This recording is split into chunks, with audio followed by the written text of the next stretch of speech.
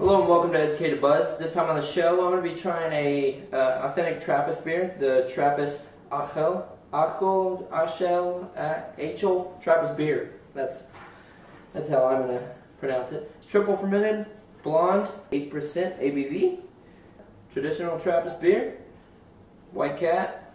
Just uh, keeping it simple like they always do. Let's crack this thing open and taste it.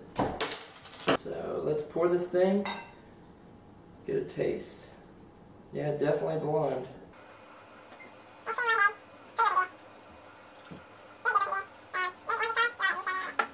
Very good looking beer. Um, almost like a orange, just like a pumpkin color. Definitely looks like a good blonde.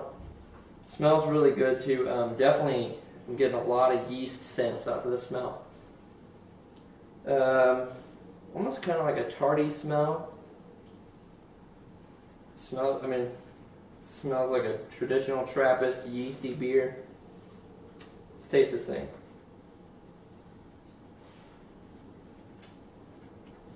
Wow, very yeasty, very getting a lot of hops too. It's pretty hoppy. This is, you know, the taste is there for a minute. Real sweet taste, almost crisp like an apple kind of to me. That's what it reminds me of. It reminds me of literally taking a bite out of an apple and maybe some hops and eating a little bit of yeast. But no, it's it's actually really good, really crisp. The taste is there for a minute and then it's gone. It's it, the taste evaporates real quick. There's nothing at the back of the tongue. It's all right there as soon as it hits your as soon as it hits your tongue, as soon as it hits your palate, it's there and then it's gone. But that taste while it lasts is very, very good.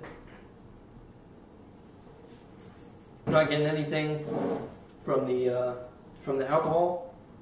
No burn, nothing. Maybe maybe a little bit, but um, no, very good beer. Like I said, crisp. I'd probably give it maybe 3.8, 4 out of 5. It's a very good beer. It's just it's not way up there with the rest of the Trappist ones that I've had. But um, that's all I got for now. Check out um, my dad's channel, All for Taste, and uh, I'll see you next time. Cheers.